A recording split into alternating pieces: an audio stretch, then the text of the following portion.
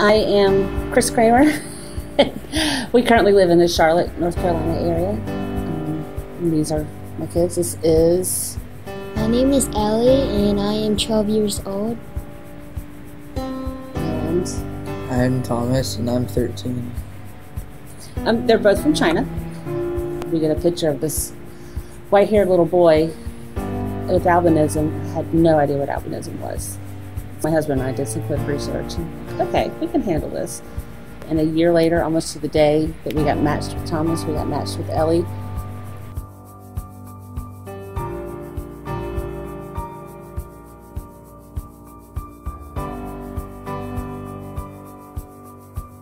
Our life is different because we can't see far away that much, so we either have to use binoculars or some other equipment that zooms in and stuff that we can see.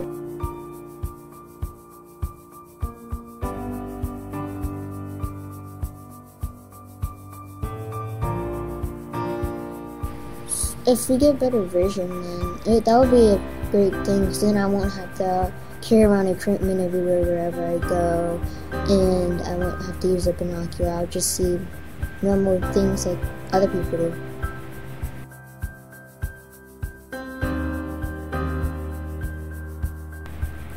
I'm a flyer on my teams, and a flyer is basically the person that gets thrown around everywhere and prays that she never gets dropped. Because of the albinism, she had to learn the higher level skills she has to learn by feel because she can't spot the floor due to the depth perception. And he went to space camp. He's been to space camp twice. They have a week for visually impaired students.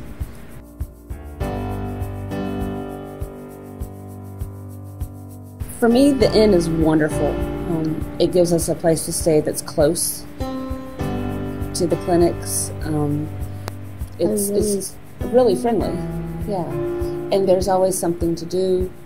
If you need anything, there when you ask for it, it's like, oh yeah, we'll help you do that. We'll help you do that. Um, very helpful, very accommodating. Um, they have a lot of fun activities for the kids.